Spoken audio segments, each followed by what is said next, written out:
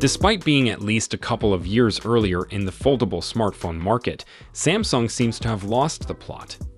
Its foldable phones no longer wow people. Instead, Chinese smartphone brands have taken the reign from Samsung to bring groundbreaking hardware innovations to foldable smartphones, and Xiaomi is about to cause even more trouble for Samsung.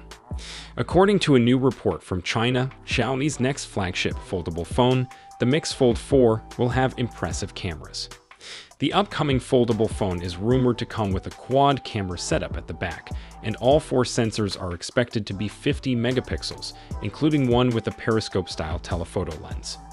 In comparison to Samsung's current best, the Galaxy Z Fold 5 has a triple rear camera setup, consisting of a 50 megapixel primary lens, a 12 megapixel ultra-wide, and a 10 megapixel telephoto unit.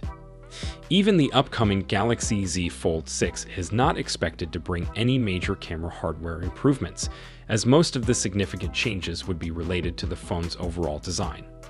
The Z Fold 6 will finally be getting a wider aspect ratio on the cover display, which Xiaomi has already implemented for a couple of years now.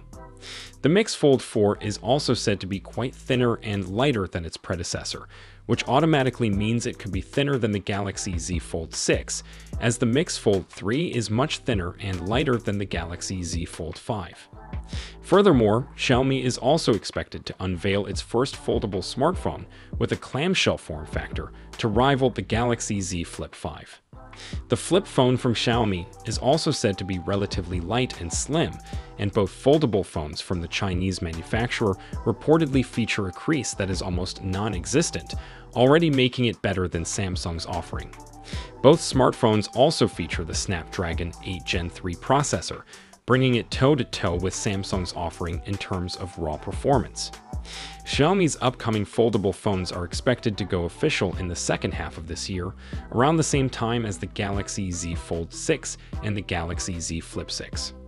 Hopefully, Samsung is aware of the stiff competition now present in the foldable market, competition that was literally non-existent just a few years ago, and try to bring significant improvement with this year's offering to climb back on top.